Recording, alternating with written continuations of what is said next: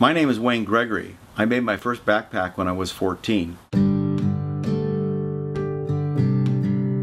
My background is um, getting involved in Boy Scouts because I couldn't afford to, to buy the gear that was out there, so I ended up making some of myself. I just followed uh, what I saw, and I'm creative, so I could make my own stuff. And I did, and I, and I go, wow, this is really cool. And that's how I got the ambition to go ahead and start my first company, Sunbird. In the 1970s, many young people were going to the mountains, and everybody was reading The Complete Walker by Colin Fletcher. In the third edition of the book, Colin introduced my Cassin model, and Gregory Packs exploded into popularity. His book was basically the backpacker's Bible, and so we all, most all of us had the original copy or a copy of it, you know. We, just read it from cover to cover. It was like feasting, right? So when he called me up, I was just really excited.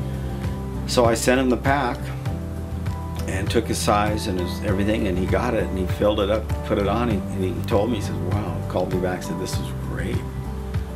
And so then he wrote about it pretty extensively in, in, in his book.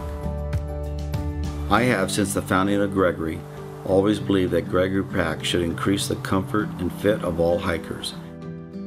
You don't carry it, you wear it. So a pack, since your shoes you don't carry them, you wear them, and if they don't fit, you don't wear them.